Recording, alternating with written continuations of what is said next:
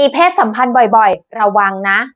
การมีเพศสัมพันธ์นอกจากช่วยสร้างสัมพันธภาพที่ดีของคู่รักแล้ว ยังส่งผลดีต่อสุขภาพในหลาย ๆ ด้าน เช่นทำให้ระบบหัวใจแข็งแรง ช่วยเสริมสร้างภูมิคุ้มกัน หลั่งสารภูมิต้านทานออกมา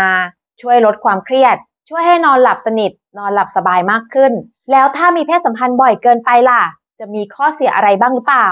1. ผู้หญิงจะเสี่ยงต่อการติดเชื้อในระบบทางเดินปัสสาวะสูงขึ้น เป็น honeymoon cystitis 2. พักผ่อนไม่เพียงพอทำให้อ่อนเพลีย เหนื่อยล้า ส่งผลกระทบต่อการทำกิจวัตรประจำวัน การเรียนหรือการทำงาน 3. เสี่ยงต่อการติดเชื้อโรคติดต่อทางเพศสัมพันธ์ เช่นหนองใน พยาธิช่องคลอด HIV หรือ HPV สูงขึ้น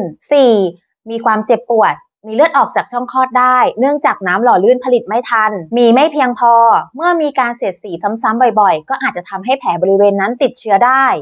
5. อาจทำให้มีการอักเสบของกล้ามเนื้อได้ เช่น กล้ามเนื้อหน้าท้อง แผ่นหลัง ปวดข้อเข่า ข้อเท้า ข้อศอก และ 6. ผู้ที่มีโรคประจำตัว เช่น โรคหัวใจ โรคความดันโลหิตสูง การมีเพศสัมพันธ์บ่อยๆ นานๆ อาจทำให้หัวใจต้องทำงานหนักเป็นอันตรายต่อสุขภาพได้